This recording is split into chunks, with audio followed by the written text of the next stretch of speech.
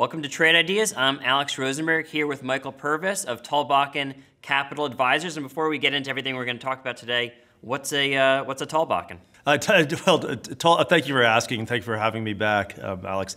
So, uh, yeah, t- Tallbacken is the name of my new firm. Uh, it's an obscure Swedish phrase referring to sort of a, a knoll with with with uh, large uh, uh, pine trees on it. Actually, it's a slightly obscure reference, but one I'm fond of. As you know, I've been, you know, for the last several years, I've been Weed, at, at Weed and Company broker dealer.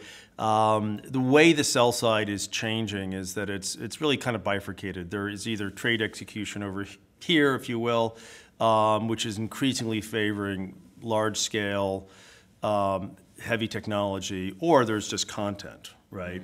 And there's a uh, there's an unbundling of of how you know content and uh, trade execution is happening. And so for me, just looking prospectively, looking at some of the trends in Europe with MIFID and so forth, it just made it was eminently clear that just going to a, uh, a, a pure content model that where the where clients, institutional clients, are just paying a monthly or quarterly fee um, for high quality advice. Good. Let, us get some of that advice here. Okay. Um, last time you were on was in June. You talked about this divergence between what the bond market and what the equity market seemed to be looking at. You said it was almost like they were looking at two different sets of economic data with the bond market looking for much slower growth, maybe even recession, equity markets a lot more sanguine.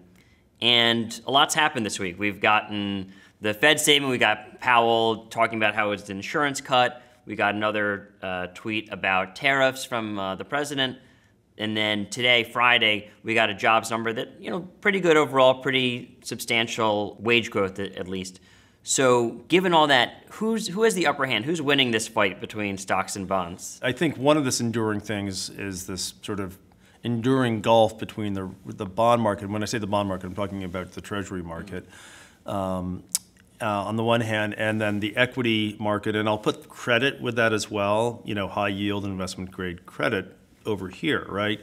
And you ask me who's winning. Well, in a sense, I guess they're both winning because the S&P's up 20% year to date, and if you went long treasuries, you've been doing great. But within that sort of both are winning condition, um, the question is is what what is the story between those two? Because still, okay, yeah, Powell gave us 25 basis points and a and um, um, it would seem to be a little bit more of a nudge that hey, we're not at the end, we're not starting a, a cut a cutting cycle, but you know we could easily do more than just this one cut, right? So sort of between those two er areas, trying to thread a few different needles, which was you know quite candidly, you know for all the criticism that Powell gets he has a very hard job when, on the one hand, there's an enormous gulf between where the rates markets, the bond market, the treasury markets decided to go over the last several months, on the one hand, and where his economic forecasts are, which are pretty much, by the way, right in line with Wall Street consensus forecasts as well, and most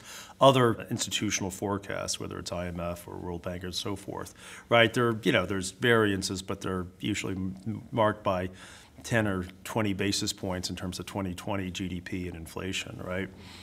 And then on the other hand, Powell also has to fight this battle in a sense with the White House, right? Because sure enough, you know, right after uh, Powell came on Wednesday, there was, you know, Trump was out there commenting that, hey, you know, look, he's not playing ball here, right? And this morning, um, Larry Kudlow was uh, in the media discussing how, uh, look, you know, we've had highly restrictive monetary policy for the last two years um, uh, there. So, you know, he doesn't have an easy job, right? He's fighting a war on two fronts, the White House and the markets, and with a, with a huge gap between, between that. I think it's uh, how this gap gets resolved um, is A, going to require a lot of finesse from Powell, right? Finesse that he, a lot of people would say he hasn't actually mastered yet there. But frankly, you know, you could have the most articulate and nuanced uh, Fed chair ever in this role. It's a hard job to sort of navigate that,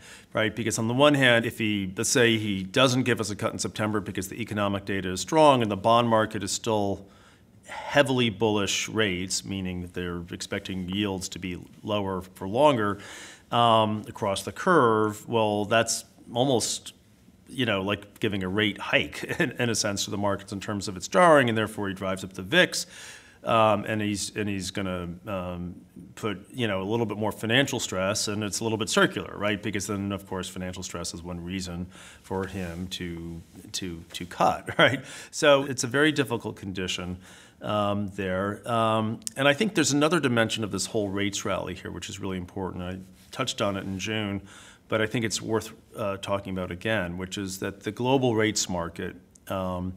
Uh, has been one that's been even more extreme, of course, right? And um, look at the bond market where 10-year bonds are, you know, minus 40 basis points. They keep somehow making fresh lows. Now, we, we can debate the economic rationale of buying a bond with a, for 10 years with a negative 40-point yield on it, but nonetheless, that's where the markets are, are actually pricing that particular security, right? So one of the things that I think is a real conundrum for Powell is that he's talking about rest of world issues, rest of world weakness, um, the Eurozone, China, and so forth, as being this principal rationale for the insurance cut we just got, or for, in, in effectively for any dovish policy we get prospectively.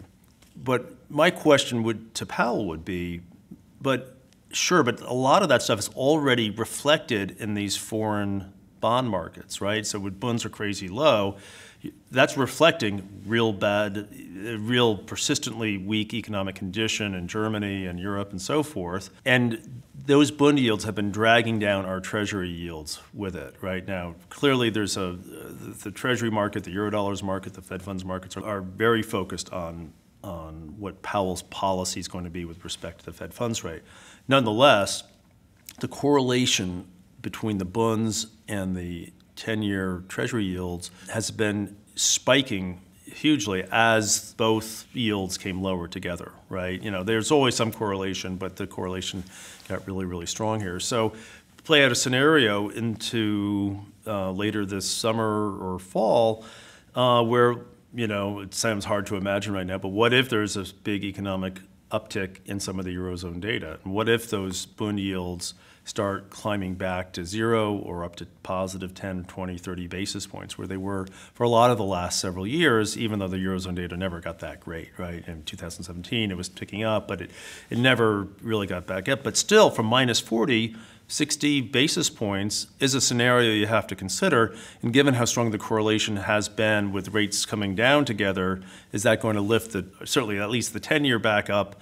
and also not only re-steepen our treasury, our yield curves, um, but also sort of throw yet another monkey wrench into how Powell is processing all this data and all this market data, um, economic data and the market data. So if it seems like the bond market and the stock market are looking at different things, perhaps it's because they are. Maybe maybe earnings and the economy in the U.S. is strong enough for, for equities to remain bid while the bond market, you know, that's a, a pool of yeah. investors who are thinking, do I want to buy U.S. Treasuries or do I want to buy bonds at, at negative rates? So I guess if you're thinking about the chance of improving economic data in Europe, leading those rates to go higher, obviously negative for the bond market in the U.S. as well. I, I guess how correlated do you think that global economic data is? Especially yeah. we're in a world with with you know increasing trade tensions, increasing divergences between the political outcomes. I mean, just look at Brexit and and all the other things that are happening in Europe that are not necessarily related to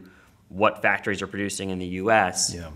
I guess you know how, how does that economic correlation play into that market correlation yeah uh, it's a great question um, and thank you for asking it but you know look the stock answer about the us is that we're relatively insulated relative to certainly economies like china the eurozone um, and so forth. That uh, it's just we're, we're a lot more self-sufficient, and, and that's true. Having said that, if you look, talk about the U.S. equity complex, that is not insular, right? I mean, that is if you you know, for discussions like just pretend the S&P is one giant company, right?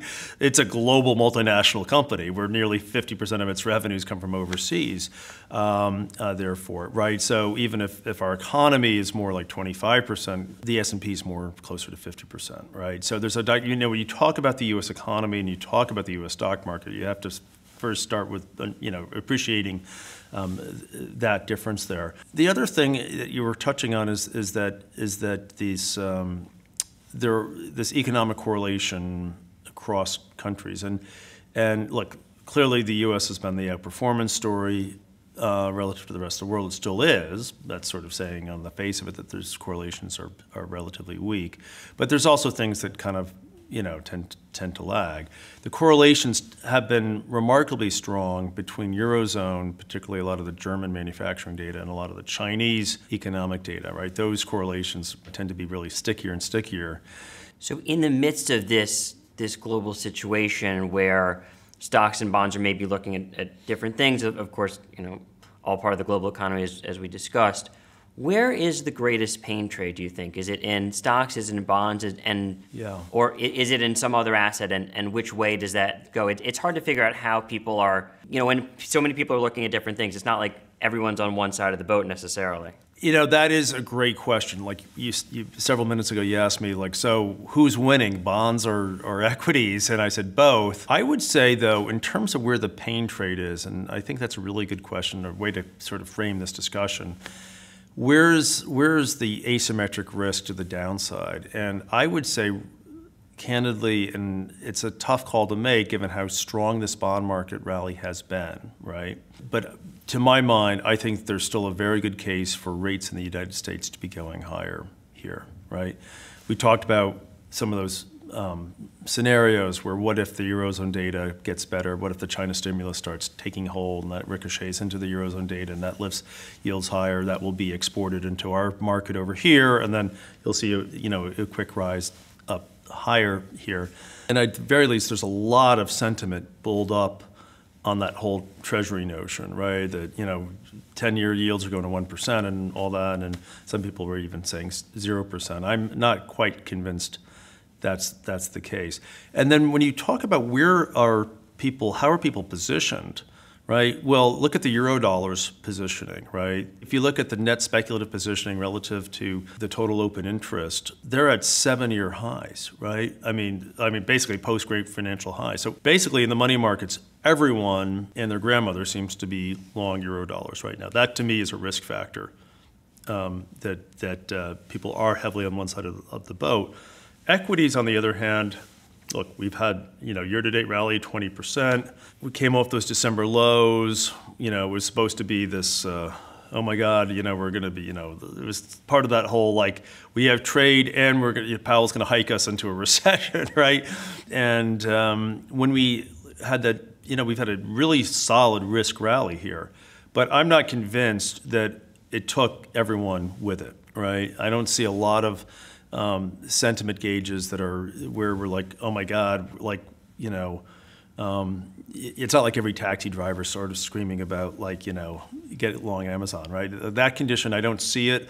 Um, either in the retail space or the institutional space right now. I think there's a partly because of this bond market bid, there's a healthy skepticism about, oh my God, well, geez, you know, do I really want to play here? Do I want to be buying the market 20% up? Year to date, when the bond market is sort of seems to be telling me there's a recession in 2020. So I don't think, you know, there's a, I think a lot of large scale allocators have been uh, uh, de-risked equities um, last year, thinking it was sort of top of the eighth inning of this economic cycle. And a lot of some of them have come back in, like the Norwegian Self, Sovereign Wealth Fund was uh, public about you know buying that dip on late December, right? Which obviously was a brilliant trade. But I don't know how many of them are there. I think there's a lot of people that are still being very careful with um, with risk right now, which means that there's room for the market uh, to rally further, or at least that if it does sell off, that maybe perhaps then those guys will come back in and and be dip buyers. So I think right now my landscape is is that is that if there's asymmetric risk to the downside, it's more in the bond market than there is in the uh, uh, equity market. I think people are really going to appreciate this perspective because we've had a lot of people come on Real Vision to be on what it sounded like is the consensus side of the trade. You know, John Burbank coming on talking about buying call options on euro dollar futures, for instance, which is you know sort of his way of play this potential recession, lower rates, even going down to negative rates potentially outlook. Yeah. So it, it's it's first of all really great to hear the other side. I, I think this is really useful just from from a high level. If you were to advise anything tactical to kind of play off of um, this this allocation and this uh, idea that people are playing for these lower rates that if, if data turns around, especially in Europe, it could really turn the other way fast. How would you think about that tactically? Well, I, I think, look, if you're using ETFs, just simply speaking, you can look at the TLT and shorting that or buying puts on the TLT would be sort of an obvious way of rates going higher in the United States play. I think I think within equities, I think uh, if rates do go higher, utilities have been extraordinarily aggressively bid, right? Just like euro dollars have been aggressively bid. It's sort of effectively the same trade. Those have a lot of torque to the downside if rates do in fact break. They're getting long banks um, would probably play um, as well, you know, if particularly if the back end increases higher and, and that you see those yield curves, you know, ranging a little bit more dynamically to the upside. Very good. Well, Michael, thank you for sharing this uh, contrarian perspective. I, I, think the way you look at the world and make sense of the way assets are correlated and, and the way economies make sense together is, is going to be really useful for folks. So, Michael, thank you so much for joining us. You bet. So, Michael fears bonds may be overbought, and specifically, he thinks the potential for an uptick in global economic data could drive Treasury yields higher and bond prices lower. He recommends playing the setup with put options on the TLT. That was Michael Purves of Tallbacken Capital Advisors, and for Real Vision, I'm Alex Rosenberg.